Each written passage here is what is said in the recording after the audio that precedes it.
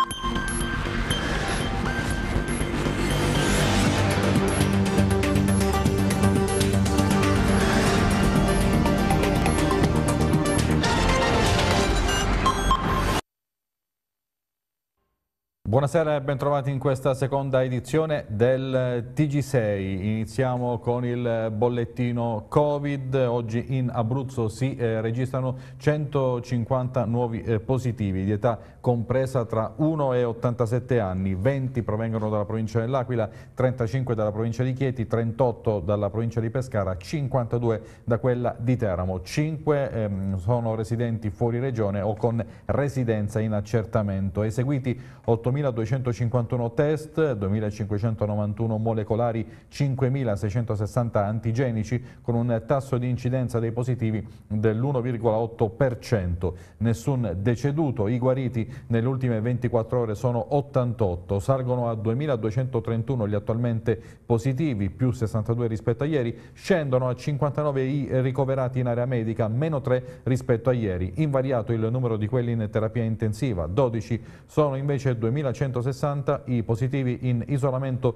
domiciliare, più 65 rispetto a ieri.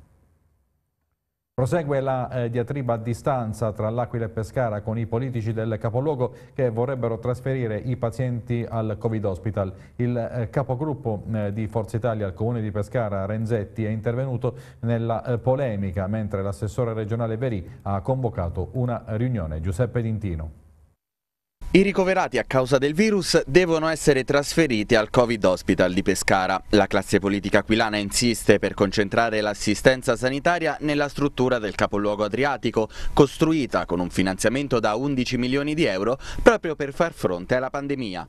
Ci sono più di 50 pazienti oncologici, ha detto il sindaco dell'Aquila Pierluigi Biondi, che attendono di sottoporsi a interventi sospesi a causa dell'emergenza Covid. Nella polemica si è infilato anche il capogruppo di Forza Italia al comune di Pescara, nonché primario di urologia all'ospedale Santo Spirito, Roberto Renzetti. D'accordo col trasferimento dei pazienti, dice Renzetti, ma solo se le altre ASL dovessero esaurire i posti. Quando si parla di salute pubblica lascerei da parte i campanilismi o le fughe in avanti, ma bisogna cercare di tutelare il bene del paziente e del cittadino. Ora, questo non significa che a prescindere il Covid Hospital in Pescara non debba essere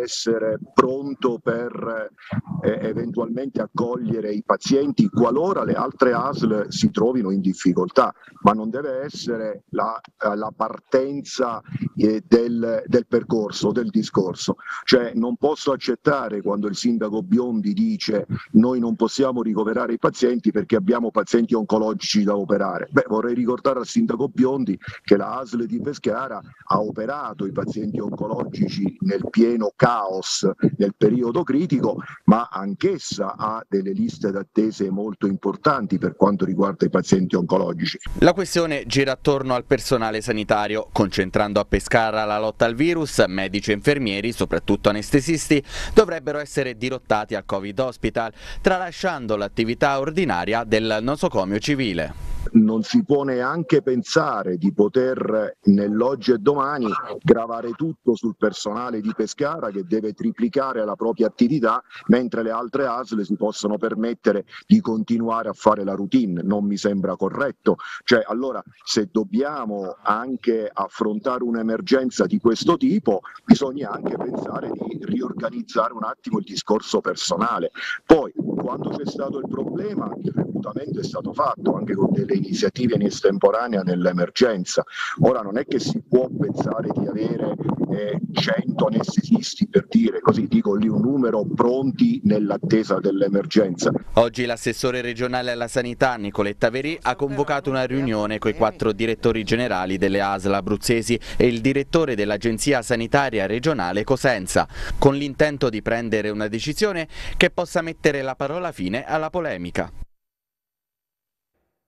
Dopo un anno che li stiamo sperimentando possiamo dire con ragionevole certezza che per fortuna i vaccini funzionano e funzionano bene, lo dicono anche i numeri di questi giorni. In questa fase a fronte dei contagiati il numero dei ricoveri è di gran lunga inferiore rispetto alle precedenti ondate, così il direttore generale dell'Agenzia Sanitaria Regionale Abruzzese Pierluigi Cosenza, primario del reparto degenza breve dell'ospedale dell'Aquila, medico aquilano che fa parte del gruppo di lavoro istituito dall'Istituto Superiore di Sanità chiamato a sviluppare un rapporto sul tema del long covid. Questo significa, continua Cosenza, che un vaccinato che si infetta non finisce in ospedale con gravi patologie polmonari. I sintomi, se si è vaccinati, o sono assenti o sono molto lievi. Del resto, osserva il medico, non è un caso che su 11 ricoverati in rianimazione in Abruzzo, 10 sono non vaccinati e l'undicesimo, tengo a sottolineare, ha gravi patologie pregresse e possiamo affermare che il vaccino gli ha finora salvato la vita. A distanza di 24 ore è stato revocato il divieto di balneazione di un ampio tratto di mare di Pescara dopo che le analisi ARTA hanno dimostrato il ritorno alla normalità dei valori. Vediamo. Il sindaco di Pescara Carlo Masci ha firmato l'ordinanza di rimozione del divieto in via cautelativa di balneazione che interessava da 24 ore il tratto di mare prospicente via Galilei e quello 100 metri a sud dal porto turistico ed è stata notificata ai gestori di 14 stabilimenti balneari. Le analisi microbiologiche condotte dall'ARTA hanno dimostrato che i parametri erano al di sotto dei limiti di legge, pertanto con piena conformità. Il provvedimento era stato emesso in conseguenza presenza di uno scarico anomalo nelle condotte fognanti che affluiscono al depuratore tra la sera e la notte del 18 agosto e quindi nelle prime ore di giovedì. Il campionatore posto all'ingresso dell'impianto aveva immediatamente segnalato l'anomalia sul processo di depurazione. In particolare sono rientrati nei parametri di legge i valori di Escherichia coli 175 su un valore massimo di 500 mpm per 100 ml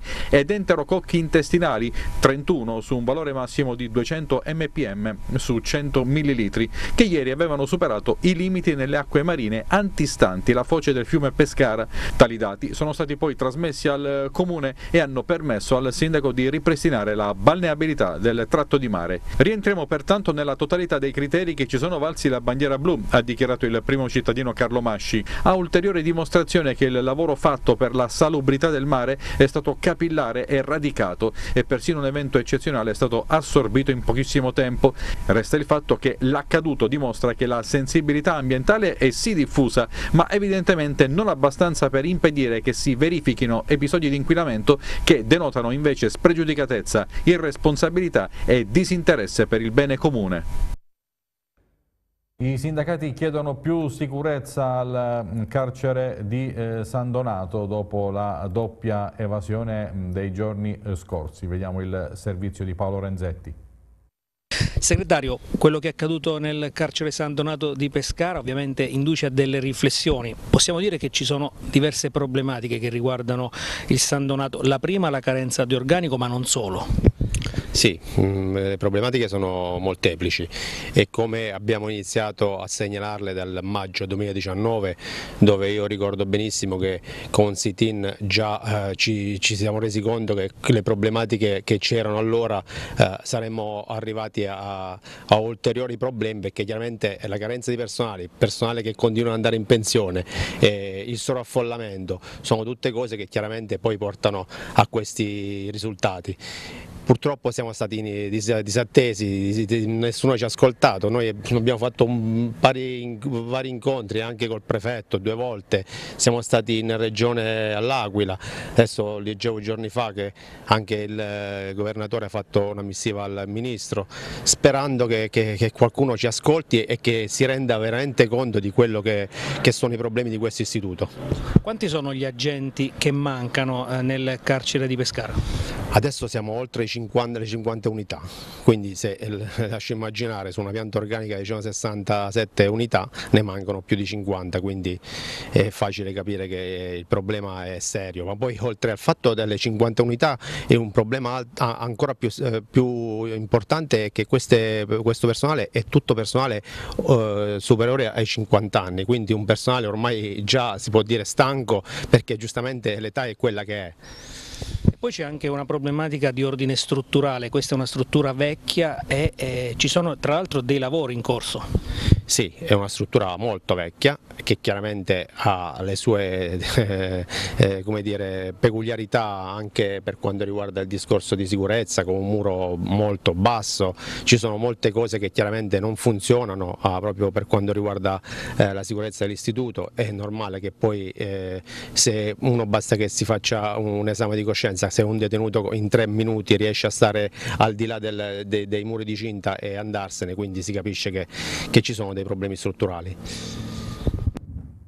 L'amministratore giudiziario della società delle terme SRL ha depositato al Tribunale di Pescara l'istanza di fallimento della società che ha gestito le terme di Caramanico. Ora si apre una nuova fase, vediamo.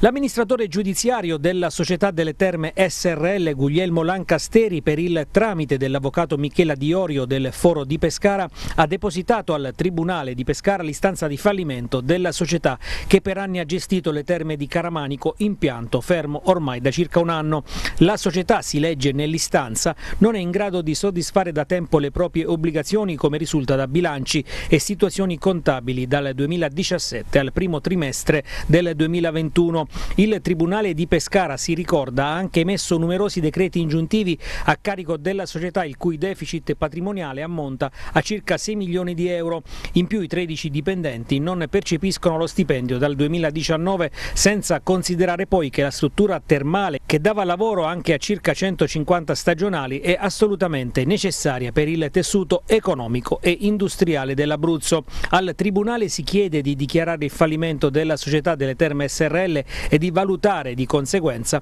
l'opportunità di disporre l'esercizio provvisorio tramite conduzione di imprenditori terzi, anche alla luce della dichiarazione resa dal direttore generale di Federterme, organizzazione di categoria di Confindustria, che ha sottolineato l'importanza della struttura nel territorio sotto molteplici profili. In effetti la definitiva interruzione, si spiega, potrebbe arrecare un danno grave non solo agli impianti termali che già senza manutenzione rischiano di andare in malora, ma anche alle strutture alberghiere di Carmanico Terme, utilizzate da molti dei circa 15.000 utenti annuali dell'impianto, nonché all'intera comunità abruzzese. Il Tare dell'Aquila ha deciso di sospendere l'avvio della stagione della caccia fino all'8 settembre al fine di tutelare la fauna selvatica, soddisfatte le associazioni ambientaliste. Calendario venatorio sospeso in via cautelare fino all'8 settembre, quando vi sarà la discussione in merito. Il TAR dell'Aquila ha deciso di rimandare l'apertura della stagione di caccia a seguito del ricorso presentato dalle associazioni ambientaliste. È interessante vedere come lo stesso TAR abbia evidenziato che la conservazione della fauna selvatica deve essere una priorità rispetto ad altri interessi più di parte. Le criticità presenti nel calendario venatorio della Regione Abruzzo sono essenzialmente dovute ad alcune preaperture, in particolare quella alla tortora selvatica, che sia l'ISPRA che l'istituto che dà i pareri per uh, i calendari venatorio nel nostro paese, ma anche il Ministero avevano cercato di impedire con una moratoria. La tortora selvatica è una specie in forte eh, declino e ha bisogno di azioni di conservazione e non di ulteriori prelievi venatori, ma sono anche altre le aperture eh, riferite ad altre specie ornitiche che la stessa ISPRA l'ISPRA aveva consigliato di iniziare il 2 ottobre. Il TAR, dice quindi il WWF, sancisce un importante principio, l'interesse prevalente deve essere quello della tutela e della conservazione della fauna selvatica. L'associazione poi va all'attacco per quanto riguarda il Parco Nazionale di Abruzzo e Molise, dove una delibera di giunta regionale limita la caccia nelle aree contigue.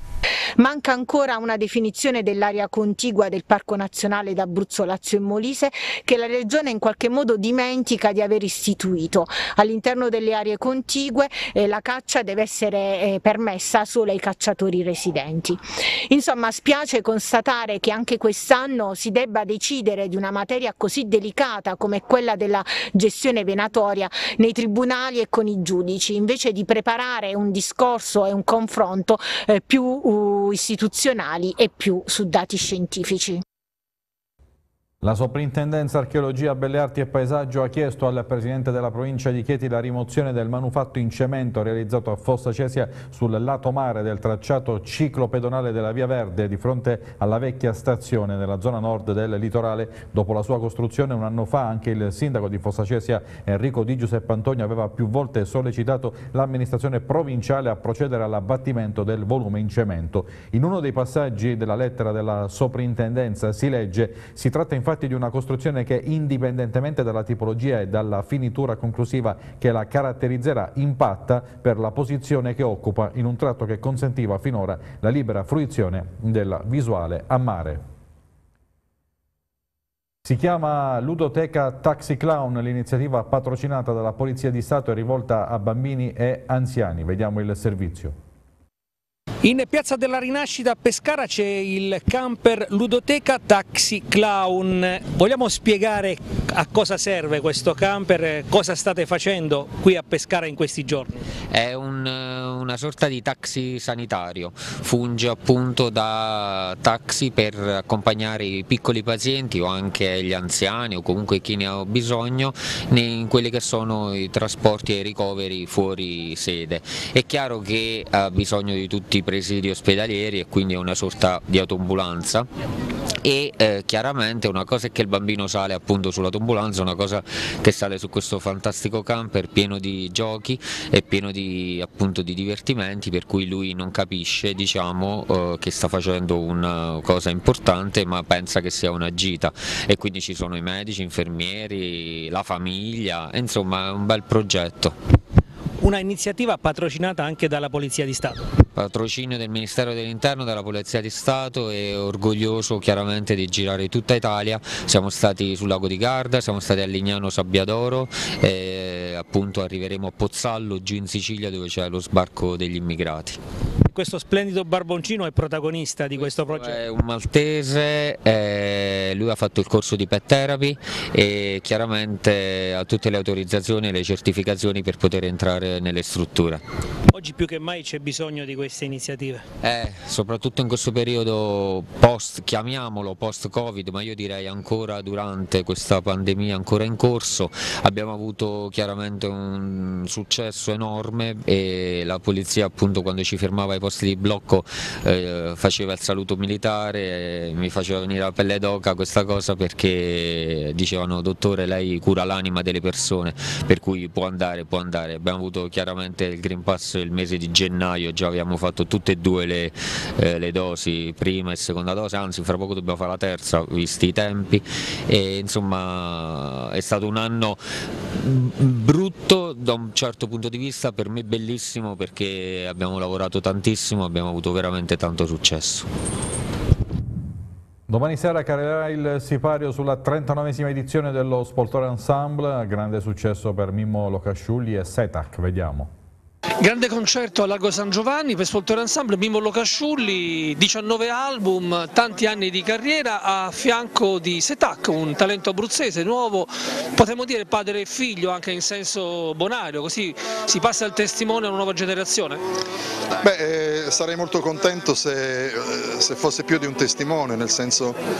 se fosse l'inizio di una folgorante carriera, perché è bravo, a sentimento, è un bravo musicista, mi piace come canta e fare un concerto così che è molto inusuale, no? io sono più un cantautore pop, lui ha qualcosa di etnico, qualcosa anche di, di folk, però c'è questa radice comune che è diciamo, quello che ci, che, di cui ci siamo nutriti nella nostra terra, che non, si dime, non va via, quello che ci ha dato la nostra terra noi riusciamo a rendere in canzone nella nostra sensibilità, con la nostra sensibilità perché c'è il marchio, c'è il marchio di questa terra, c'è il marchio di questi tempi che viviamo in maniera diversa. Io ho visto molto del mondo, lui ancora ne deve vedere tanto, però io gli auguro veramente ogni fortuna perché è bello fare un concerto con lui. La lingua abruzzese può diventare una lingua musicale a tutti gli effetti, non di nicchia? Beh, lo è, lo è nel senso che ha questa particolarità come l'inglese di avere poche sdrucciole e molte tronche, quindi si presta molto bene al ritmo della parola.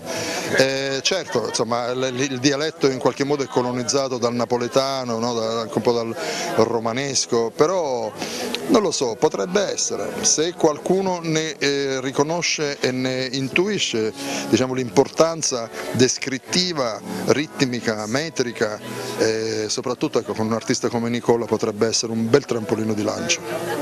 Tanta, tanto entusiasmo, tanto calore per questo passaggio di testimone. Mimmo Locasciuri rappresenta un po' la tradizione, la canzone d'autore italiana che non ha mai dimenticato l'Abruzzo, poi ci sei tu con la tua freschezza ma con un grande attaccamento alle tradizioni, cosa potrebbe sembrare strana per un giovane che invece si americanizza, guarda altri modelli, come mai?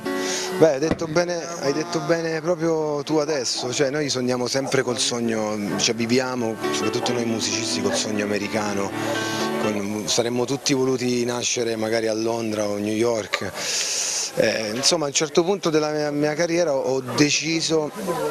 che ero orgoglioso, che sono orgoglioso di essere nato in Abruzzo e quindi volevo mescolare le mie radici con la musica che mi interessa, quindi ecco sono la persona più felice del mondo.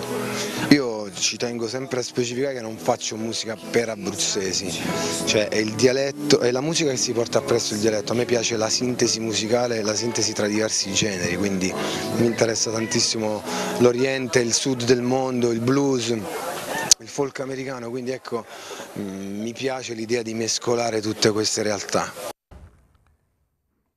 E ora la pagina dello sport interamente dedicata alla Coppa Italia perché sta per concludersi il match del Bonolis tra Teramo e Monterosi, primo turno di Coppa Italia di Serie C, lo vedete dalla nostra sovrimpressione, Teramo che è avanti di due gol sulla squadra della Tuscia, andiamo in collegamento dallo stadio eh, Bonolis proprio con Agna Cantagalli, buon pomeriggio Agna, anzi direi buonasera. Andrea, buonasera a voi. Si è chiusa proprio qualche secondo fa la, il primo impegno ufficiale della stagione per il Teramo eh, che batte 2-0 il Monterosi nel primo turno eliminatorio di Coppa Italia, quindi attenderà la vincente eh, tra Siena e Fermana che si sta eh, ancora eh, giocando per conoscere l'avversario del secondo turno del prossimo 15 eh, settembre, una pratica sbrigata dal Teramo eh, nel corso del primo tempo con una doppietta eh, segnata da Birligea prima al diciottesimo e poi al trentanovesimo che praticamente hanno fatto chiudere la pratica per l'appunto già nella prima frazione. Monterosi che ricordiamo è una formazione neopromossa e che quest'oggi ha messo in evidenza eh, ancora diversi limiti, eh, la necessità soprattutto eh, di eh, immettere nuovi innesti per cercare insomma, di essere un po' più eh, preparata al salto di eh, categoria. In questo scenario comunque il Teramo si è espresso bene, eh, i due gol del primo tempo sono eh, arrivati dall'asse Mungo-Birligea, eh, nel, nel, nell'occasione della, eh, della prima eh, marcatura ci ha messo anche lo zampino eh, Chierimatenga che è andato in protezione sul capitano del Monterosi Buono che ha perso palla e poi il pallone che è arrivato a Mungo proprio per eh, il gol facile di Belligea che non ha fatto altro che spingere il pallone eh, in rete. Eh, per quanto riguarda la seconda marcatura invece eh, ci sono adesso eh, nel frattempo intanto eh, i giocatori del Teramo stanno salutando la tifoseria organizzata biancorossa che è assiepata all'esterno dello stadio che tra l'altro Andrea ha anche intonato dei cori contro il presidente eh, Franco Iachini nel corso di questa gara ricordiamo che c'è una frattura eh, abbastanza eh, evidente ormai da, eh, da, tempo, da settimane proprio con il massimo dirigente biancorosso ed una parte della tifoseria eh, del, de, del, Teramo. Vi dicevo comunque seconda, del secondo gol biancorosso della formazione di, di Guidi quando Mungo ha servito sulla, sulla, corsa in velocità Birligea ha messo a terra un giocatore del eh, un difensore del Monterosi, Borri, eh, nello specifico, che poi si è anche lamentato di un presunto fallo che poi il direttore di gara effettivamente non ha eh, ravvisato e Berigè è stato bravo anche in questo caso a infilare Marcianò per il eh, secondo gol del Teramo. Eh, la ripresa è stata sostanzialmente giocata in controllo per la formazione eh, di eh, Guidi, il Monterosi ha cercato di manovrare un po' più il pallone ma non si è reso praticamente mai eh, pericoloso, non impegnando mai Tozzo perché Andrea questo è magari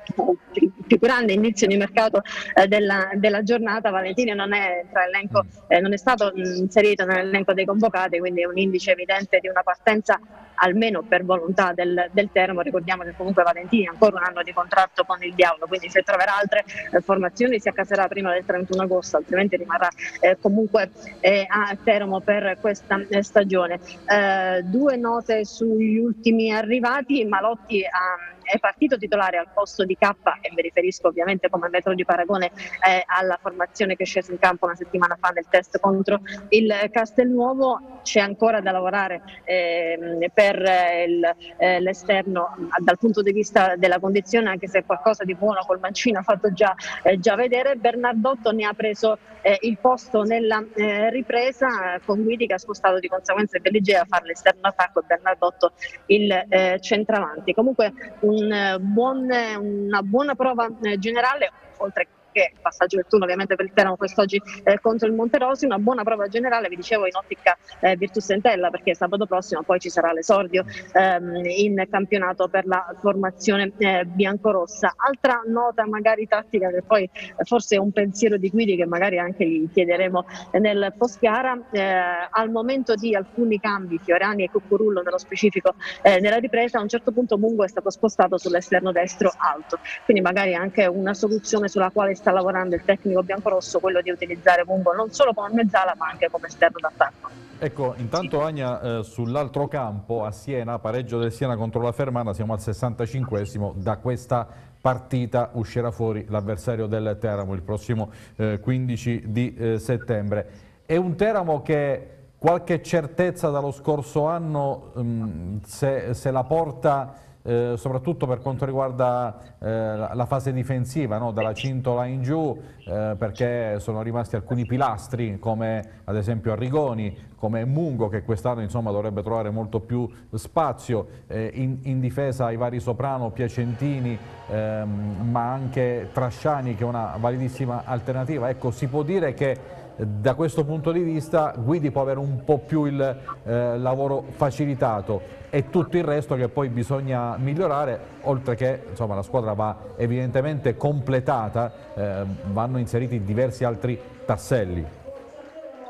Sì, come tra l'altro ha detto anche il tecnico ieri alla, alla vigilia, nello specifico mancano le coppie con Osmanovic e Rillo, ovvero due esterni bassi, manca probabilmente anche un altro esterno d'attacco, se non due da quello che insomma filtra della società biancorossa. E secondo me si terranno anche delle valutazioni per quanto riguarda il centrocampo, soprattutto per il Vice Arregoni che attualmente è sul ricchio per quello che si vede insomma negli allenamenti, però parliamo di un ragazzo di 15 anni che ovviamente ha necessità di crescere, di lavorare anche fisicamente, i mezzi li ha ma insomma ha bisogno di, di lavorare, quindi valutazione sul centrocampo credo che poi alla fine lo staff, lo staff tecnico con il direttore sportivo Musa se la terrà fino eh, alla fine. Come dicevi bene tu però sì la difesa è un, eh, è un, punto, eh, è un punto, fermo di, eh, di, questo Teramo, Soprano e Piacentini sono i due che in questa prima eh, fase di stagione eh, sono i, i cardini insomma, su cui Guidi vuole, vuole poggiare ma ci sono anche anche delle alternative valide come Trasciani che ha fatto vedere nell'ultima parte di, di, stagione scorsa insomma, che può essere un elemento eh, molto, eh, molto, affidabile in tal mm. senso. Azio Osmanovic in crescita nel secondo tempo come è stato eh, contro il Castelnuovo eh, una settimana fa, Rillo ha fatto vedere eh, di essere meno timido rispetto all'uscita eh, nell'ultima, nel, nell'ultima nel, nell'unica amichevole giocata dal, dal Seramo e mi sento di sottolineare, sottolineare anche anche la buona eh, prestazione di, di Viero quest'oggi. Lui e un altro Andrea, sappiamo che insomma, il primo anno a Teramo è stato forse caricato anche di troppe aspettative e eh, non è riuscito a rispondere eh, a pieno insomma, rispetto a quello che possono essere le sue certo. qualità che indubbiamente ha. Eh, questa è una stagione importante per Viero, l'ultima da contratto con il Teramo e credo che sia anche la stagione del rilancio. Per quello che si è visto quest'oggi, insomma, sta rispondendo bene anche dal punto di vista eh, mentale. Agna, in meno di un minuto, perché poi dobbiamo chiudere, eh, il mattatore di questa eh, giornata, Birligea, doppietta, si è parlato molto dell'arrivo di Bernardotto, Birligia già lo scorso anno era impredicato di partire, poi è stato rimesso dentro da, dal tecnico Paci, ha fatto quel gol a Palermo, ha avuto altri problemi di natura fisica che ne hanno interrotto l'ascesa lui evidentemente vuole prendersi dello spazio e lo vuole soffiare chissà, magari proprio a, a Bernardotto, a meno che non si ricicli da, da esterno, però ha lanciato oggi un messaggio ben preciso a Guidi. Sì, assolutamente, sono, sono d'accordo. Sarà difficile eh, far sedere questo Birligea per Guidi, eh, soprattutto per quanto riguarda insomma, anche la capacità di, di concretizzare, perché insomma, negli ultimi, nelle ultime due stagioni abbiamo visto quanto il Teramo avesse bisogno eh, di un qualcuno lì davanti che trovasse con maggior feeling la porta. Eh, Birligea in tal senso sembra aver iniziato bene la stagione, si spera ovviamente in casa Teramo che possa essere assistito anche da una condizione fisica ottimale, nel senso di non incappare in, in nuovi infortuni, eh, però l'unica poi soluzione per tenere in campo sia Bernardotto che Birligea sarebbe quello di spostare appunto eh, Birligea verso, eh, verso l'esterno perché poi quando Bernardotto entrerà in condizione e avrà settimane di lavoro con la squadra sarà complicato anche tenerlo fuori. Certo.